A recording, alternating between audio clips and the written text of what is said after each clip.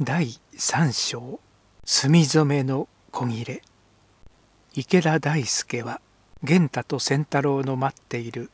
お勝手に回って二人と一緒にぐるりと屋敷内を回ってみました。屋敷は大して広くはなく戦国讃岐の神の大きい屋敷に食い込むようになっているので正門とそのそばの通用門のほかには出入りの道はなくその門の外は八軒長屋で長屋の外熊谷橋のそばには夜明かしの二八そばの店が頑張っております。くせ者はここから忍び込んでここから逃げ出したわけですね。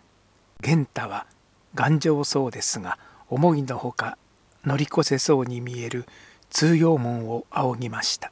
他に道はないな。するとやはり八軒長屋に住んでいる誰かが怪しいことになりますが源太はさすがに要領を心得ております。センタなんだい？お前その通用門の上を乗り越してみないか。そんなことならわけはねえよ。おみのさんほど器用にはいかねえが大概の泥棒ぐらいにはやれるぜ。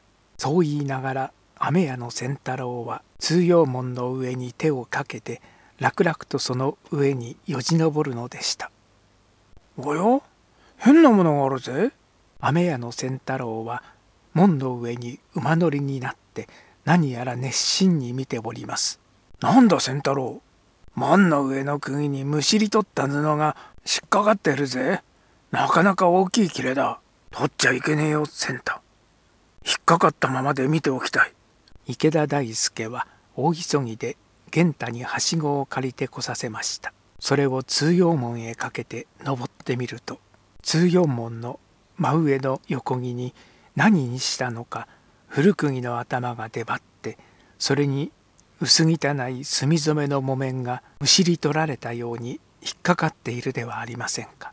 それは雑巾のような凄まじい布ですが引き伸ばせば五寸ぐらいはあったでしょう。門の横木の上の釘に引っかかって端っこが内の方になびいているのを見ると間違いもなくくせ者が門を乗り越して入る時引きちぎって残したものでしょう。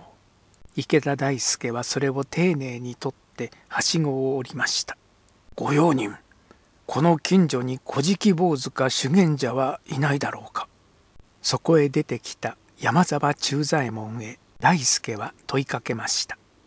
八軒長屋に歓迎の僧がおりますが用人山沢忠左衛門はまさかあの男がといった顔をしております。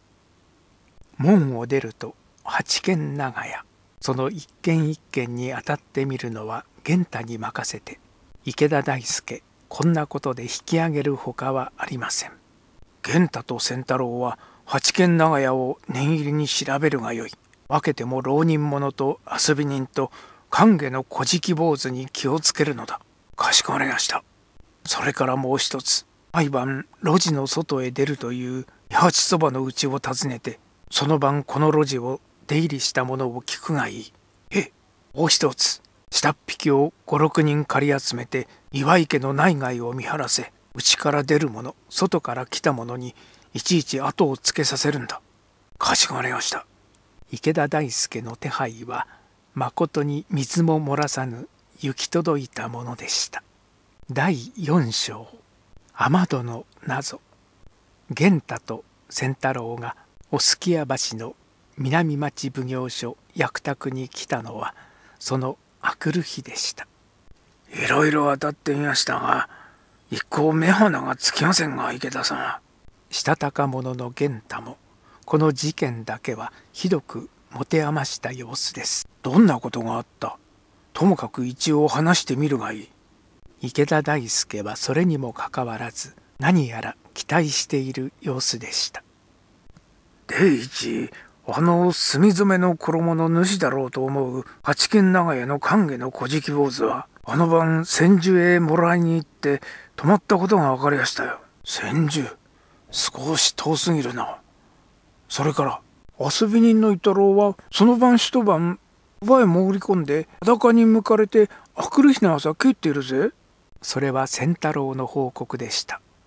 浪人者はご浪人は大川雄吉というんだそうであの晩は怒りを患ってかみさんと娘がつきっきりの介抱だ。それは少し怪しいな。あの路地の外の京斎という本堂が言っていますから嘘じゃありません。するとくせ者は外から来たことになるが路地の外に一晩頑張っていた二八そばの親父はあの晩は大しけで猫の子一匹あの路地を入ったものがねえと申します。はて源太と仙太郎の報告には一点の疑うべき節もありませんがそれでは池田大輔の腑に落ちないことばかりです。主人の傷はどうだ？海を持ったそうで少し悪い様子でございます。若党の銀之助はこれは元気で昨日などは飛び起きて庭へ出たりして医者にうんと叱られておりました。破傷風になっても拙者は知らないぞと脅かされていたようで。もう一度実地に当たるほかはあるまい。ご苦労だが行ってみるか源太。エリアショ池田大輔は手軽に支度をして西久保神谷町の岩井家へ。もう一度出かけたのです。用人の山沢忠左衛門に一応の挨拶をした池田大輔は「お手数で気の毒だが牛中の雨戸をみんな閉めていただきたい」妙なことを注文しました。主人の言いつけで池田大輔の申し出には善悪ともに背かないことになっている。山沢忠左衛門はバカバカしいと思う様子でしたがそれでも下女の長田と二人で家中の雨戸を全部閉めさせました。早春の明るい火の中に鉄塔のごとく閉め切った雨戸を一部屋一部屋順々に調べて行きましたがどこにも隙間一つなく不審が新しいせいもあったのですが実に申し分のない戸締まりです。その晩どこか閉め忘れたところはなかったかな。池田大輔は用人の山沢忠左衛門を顧みました。とんでもない。主人は大層厳重で武士の家に間違いがあってはならぬとお子人どもの閉めた後をお休みの前にいちいちご自分で見回ります。それはありそうなことでした。武家が押し込み野党などに恥を受けると一代の面目を失うばかりでなく身分にも関係したもので戸締まりのやかましいのは町人方よりはかえって武家方だったことは今の人の想像も及ばぬことです。ところでその晩くせ者の逃げたのはこの辺であったな。さよこの雨戸が一枚開いておりました。戸締まりには何の無理もなく開いていたので後でよく見ましたが内から開けたものに相違ありません。くせ者は戸締まりをする前から家の中に入っていたもので夜中になってから逃げ道を作っておいて航路を盗んだものでござろう。山沢忠左衛門なかなかに頭の良いことを言います。もう一つ承りたい。何なりと。くせ者の姿を確かに見られたのはご主人と若党の銀之助とやらとお嬢様とご貴殿と4人だけでござるな。いかにも。そのうちくせ者が通用門の上を乗り越えて逃げる姿を見た者はお嬢様と銀之助だけで月がなかった。部屋の中の明かりは消えた。廊下の有明の先が一枚開けた雨戸から少しばかり外へ差していた。池田大輔は考え込んでしまったのです。その時下女の長田が足早にやってきて山沢忠左衛門の耳に何やらささやきました。